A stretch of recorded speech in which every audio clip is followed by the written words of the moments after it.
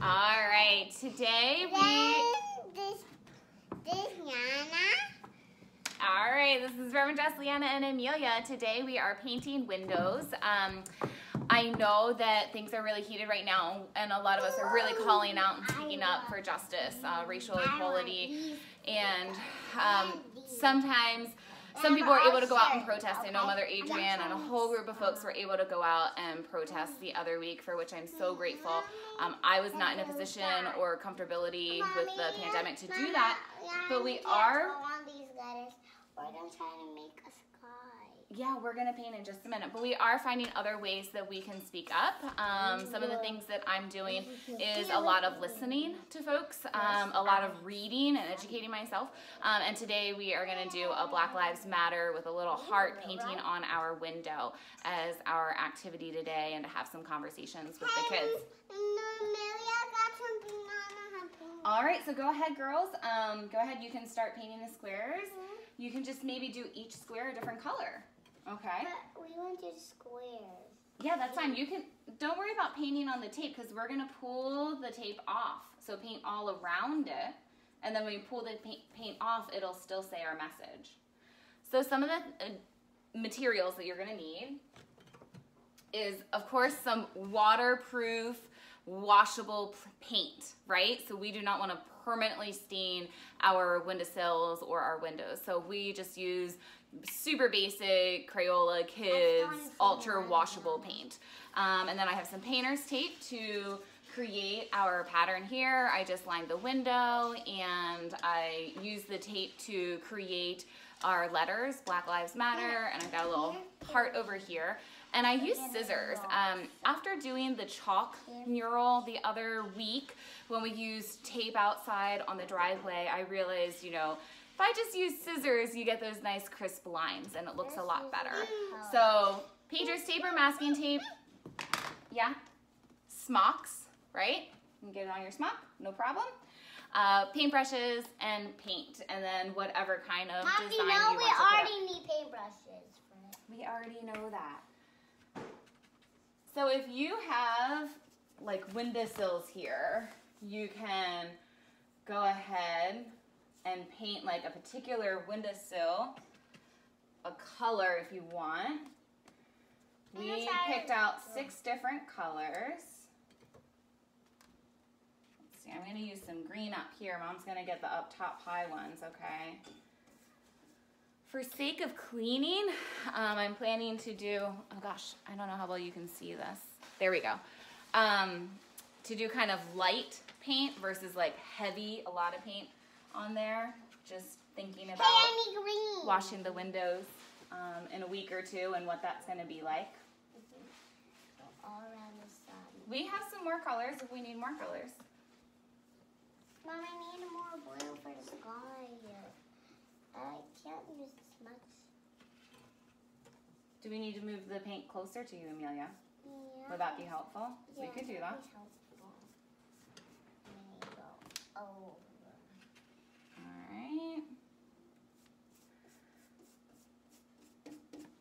So I wonder the ways in which you are participating hmm. in this call for justice and equality. I wonder the ways in which you are talking to your children about it.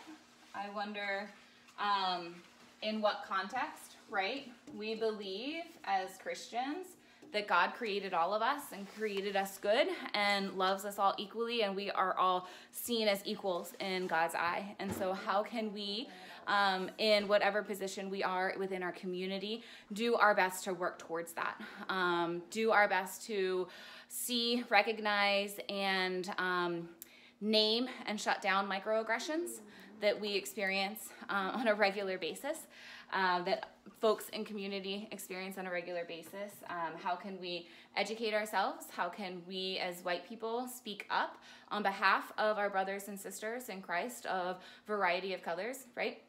And we do these things all out of our desire and our love, our desire to follow Christ and our love of God. Um, we are charged through our baptismal vows.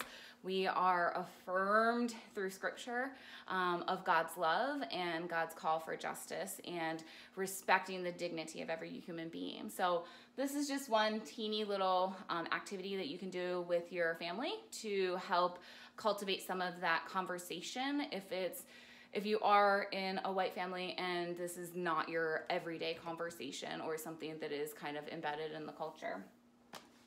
All right, girls, how's it coming along? Good. Yeah? I like this. This is looking good. I have the sky, Mom. I like all the different colors you have going on here. All right. I think yours is going to look a lot prettier than mom's. Two. Both of yours. I might add some blue up here. This isn't quite solid enough. There we go. Right, let's see what we got going on here. Mama, Mom, Mom. Keep working on it. Keep working on it. I can get some more paint on if we need it, but let's use up everything that's out first, okay?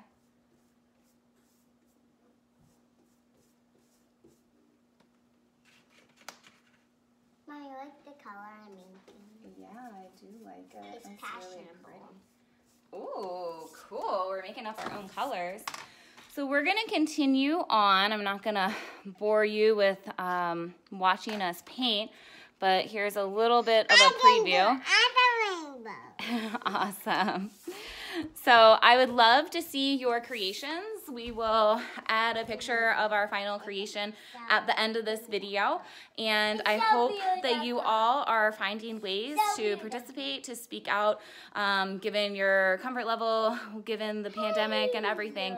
Um, but it is really important that we do find an avenue and a platform to speak out on behalf of our black brothers and sisters to say that their lives matter just as much as everyone else. We are all equal and we are all in this together. And with the grace, the love, and the guidance of God, we can find a better way to live as a community, better way to interact with one another, respect one another, and pass down to our children a, a brighter future. Girls, you want to say bye? Oh goodness, this has gone off the rails. This is what happens ah, when mom starts to talk. All right, on the window, on the window. Say bye. Bye.